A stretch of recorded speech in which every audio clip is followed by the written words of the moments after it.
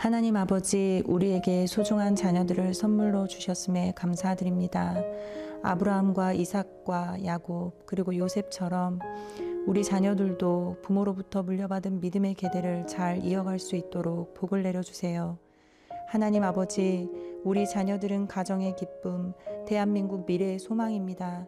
세속의 물결 속에서도 흔들리지 않는 다니엘과 그의 친구들 같은 믿음, 드보라와 에스더 같은 믿음을 주세요. 우리 자녀들 마음 가운데 하나님의 나라가 임하게 하여 주시고 하나님의 말씀에 능한 자녀들이 되게 해 주세요.